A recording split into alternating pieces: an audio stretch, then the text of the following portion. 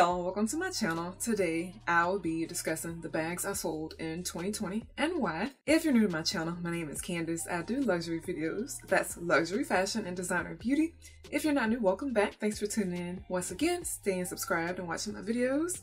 I also do beauty, fashion, and lifestyle on a separate channel. I have a link down below. If you are new, hopefully you'll stick around, subscribe, and see what else I post here. Because I post lots of fun videos. At least I think so. So, before I dive into the video, I'm going to tell you my lipstick of the video, or lipstick of the day. My lipstick of the day is the Glam Vice Vivid Matte Lipstick in Unapologetic. It's just this gorgeous, brownish, darker red.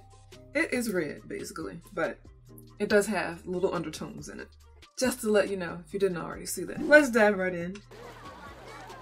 I have notes, so if you see me looking down, that's what I'm doing because I did take notes for this. I'm not just remembering this from the top of my head. I don't have a memory that's that great. So What? that's why we'll be using cheat sheet, a cheat sheet, cheat notes. Yeah, that's what we used to call it right in college. Is this story true? Not that I would know or anything. I mean, you know, Okay. just saying. Before I even start this, I'm gonna tell you, I do not buy things with the intent to sell them later. I buy things because I actually like them. I actually love them at the time that I purchase it, or I have been looking at them for quite a while, and it's just something that I have to have. So none of these items I'm gonna talk to you about are something that, okay, I'm gonna buy it, but I'm gonna sell it later.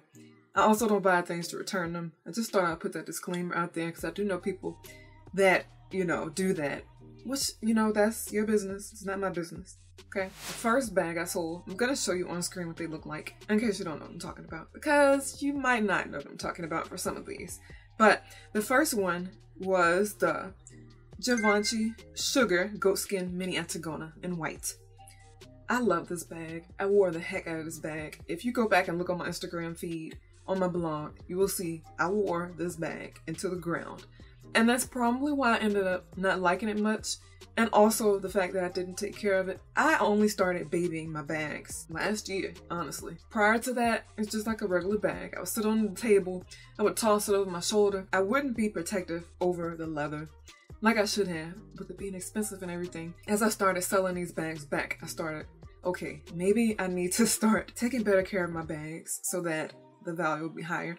But honestly, Givenchy bags, you don't get much of your money back anyway, so it doesn't really matter. The reason I sold this is because I think I got this in the wrong color. It had nothing to do with me not liking the style. This bag was so hard to keep clean.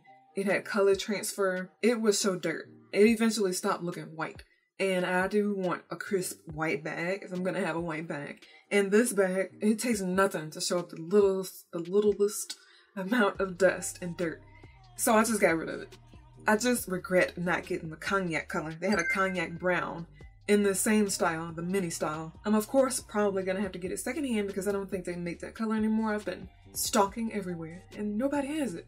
So I definitely plan on putting this bag right back into my collection, just not in this color. This color was a bad buy. And it was disappointing because I didn't get much back from it at all. It was terrible. All of these bags I'm mentioning, by the way, were sold on Fashionphile in the future. Since I've started a whole luxury channel, I might try to sell future things on here. I'll see. It just all depends, you know. We'll see how that goes. If y'all be interested, just let me know. The second bag I sold last year was the Chloe Green Calfskin Medium Aby bag. And I'm not sure what the name of this color was called. I forgot. Some blue color that was on Nordstrom. I actually got it from Nordstrom. I'm gonna be honest. This bag was an influencer influenced by. And this was purchased before I even stopped doing that. Everybody was rocking this bag at the time. It wasn't necessarily this color. I think the color I saw was like this pretty red cognac looking color. Obviously, I have a thing for cognac, okay? But it wasn't, it was not a good buy. I loved it at the time. I love seeing on other people. I think that's the thing. It was also too big. I don't like big bags anymore.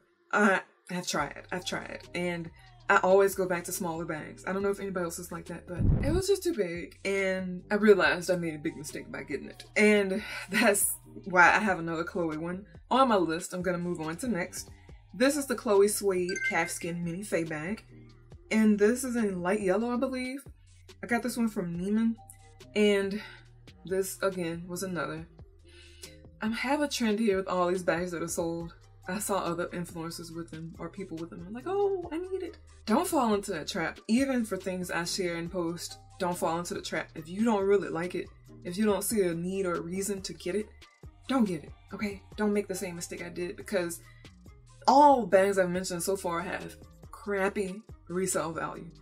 Again, I don't buy the resale, but I guess it is nice to consider that before making a purchase. Okay, if you don't really like this bag, keep in mind you're gonna lose most of your money when you try to sell it back. So also take that into consideration before making a purchase. Make sure you really like it because if you don't, you're probably gonna end up selling it and you're not gonna get even half what you paid for it back. So that's kind of like a little tidbit when considering if you really want a bag. The reason I sold this one, same same deal with the Givenchy bag. It was just way too hard to keep clean. That suede part at the top was the worst. That light yellow suede. I would never, ever get a bag like that again unless I protect it with something. It was dirty. It was even dirty when I sold it. And that's probably why I didn't get much for it. I'm gonna continue with bags and then move to SLGs and accessories. Okay, so the fourth bag, I believe. Fendi Nappa 1974 embossed baguette in light blue. Don't get me wrong, I absolutely love this bag. I love the baguette. I have one color now. The mistake I made here was the color. I love the color, don't get me wrong. I know it's like contradicting what I'm saying, but I love the color. The thing I don't like is the color on that bag. If it was the light blue Chanel that's on my wish list, the Chanel Mini Classic Flap, I would absolutely love that. And that's probably why I, I ended up not liking this one as much. Also, when I saw this bag in store, the color I actually loved was the hot pink version of this. And I think it's like the Nicki Minaj version. I saw someone else on their channel have it. I think it was like the Nicki Minaj version.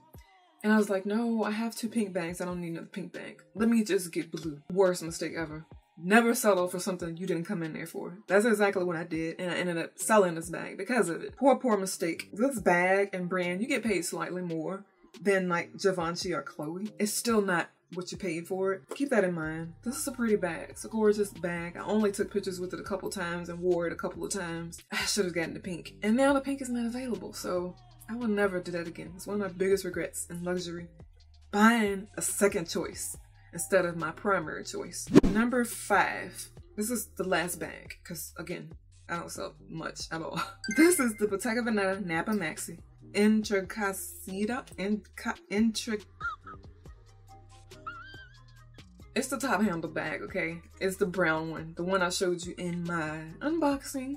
It was my actually it was actually my very first video on here, on this channel. It's too big. It was too big. I couldn't get over it. I didn't like how it laid and sat on me when I wore it crossbody. As you know, I don't wear many of my bags shoulder or top handle or clutch. Mostly crossbody. If the bag does not work well as crossbody, I'll end up not really liking it because that's how I prefer to wear my bags. I dress casual most of the time, and that's pretty much why I do that. That and because I like it. No other reason. The color was beautiful. It was just way too bulky and big. I wish that color came in the padded cassette or even the cassette. I would definitely consider getting it or getting one of those. I don't know about now because I have one of both of those. so I don't know if I will actually do that now, but it's a beautiful brown color. If somebody else comes out with a brown Chanel, let's do SLGs. I have two from Louis Vuitton. I'm gonna start with the Damier Azur Victorine wallet. And it was a short wallet. It came in Damier Azur. I said that already. I like this wallet. It was just, it just got too bulky because my bags are small and it took up way too much space. And honestly, I don't need to carry much in my wallet anyway, so I never needed anything that big. At one point I did because I did carry bigger bags, but now it's too big. It was too big. And also I didn't baby it. It was one, of my very first Louis SLGs. I think it was my first Louis SLGs. I got it to go with my Croisette up here, if you can see that. I should have gotten a flat one or one of those pocket ones with the snap closure to just slide cards in because it was a trifold. And I don't like those type of wallets anymore. That's just me right now. I don't like it no more. Ugh. The other SLG I sold from them was the Monogram Pallas Payas compact. I'm saying payas like it's like Spanish. I doubt that is how to pronounce it. But this is what it looks like, okay? This one's way too long. I got this to go with my, oh my gosh, I don't know how to pronounce it. My Vorgard this here. I have a trend here. When I first started buying bags, I got the wallets to, the wallets to go with them. Bad idea. I got a bigger wallet because I had a bigger bag. Bad idea. I should have gotten a smaller one. Number one, take up less space, and number two, I don't like big wallets, so I don't know why I bought this. I was basically talked into it from my CA. She was like, "Oh, you have that," because at the time I was carrying my other one, my Victorine. I just talked to you about, and she was like, "Oh, you have too much stuff in the wallet, and you need a bigger one." I'm like, "You're right," but I wasn't thinking I have too much in my wallet. No, I don't need a bigger one. I was like, "Yeah, you're right," and that will go great with this one. I ended up selling it. and I didn't wear it much, honestly. The Saint Laurent Crinkled Calfskin Matelassé. Oh my gosh. Okay, so y'all know I love my Saint Laurent Niki, right? It's like my one of my favorite bags ever. I wanted a complimenting SLG card holder to go with it. On the website, it looked just like it was a crinkled leather card holder my stupid ass did not measure or look at the measurements of the card holder. I was just like, that's perfect. It would go great with my bag. I never looked at the measurements to see it was super long. Y'all, this thing was like a clutch. I'm telling you, it was like this big. It had a zipper, you know, zipper across the top. It was this big. That was not no card holder. That thing was a clutch. And obviously, that's not what I wanted and it was past the return period. At first, I was like, okay. At first, I was like, okay. I'm not one of those people that like to return things. I know, I know, if I don't like something, I should return it now. I definitely will. But I ended up not returning. I was like, okay, I'll just deal with it. I'll wear it. I didn't wear it. I hated it. So I got rid of it. That was the last SLG. The last item, Gucci Calfskin Double G Marmont Belt in white. This is another one of those things I saw on other people that I loved, but I need to realize that just because I see it on other people doesn't mean I'm gonna like it on myself. And white belts are one of those things I do not like on myself. I just think I'm too dark for a white belt. I just don't like how white looks on me. With this white belt, I just didn't like how it looked on me. I seen it on other people and it looked great, but it's really tricky to style. And with the things I wear, it's very tricky to style. And with the things I wear, white would not look good, honestly. The only way I think it could work on me is if I wore all white. Because I wear a lot of denim, you know, darker denim, even lighter denim, I don't like how white belts look. So I just got rid of it. Only reason I got the white is because, okay, I've seen other people that looked great with it.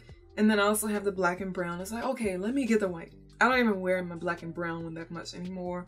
Not because they're out of style, but strictly because I don't wear belts that often anymore. Even my Hermes belt, I don't wear often anymore because when I wear denim, I usually don't wear a belt anymore. Especially because I found denim that actually fit me, that don't ride down and stick out at the back. Really don't see a need for belts much anymore, so that was a waste. I still wear my Hermes one though. I just had that one for flex reasons only, not because I actually wear well, I guess the only reason, or the only way I could possibly flex is to wear it. Those are the bags and things I sold in 2020. And I explained why. If you sold any of these items as well, or if you still have them, let me know in the comments. That was not me. Nice. That was my phone. Let's put my phone back. Okay. Rate the video, subscribe to my channel, turn on those post notifications so you don't miss anything that goes live, any Alexa videos that go live. Talk to you soon. Thank you for watching.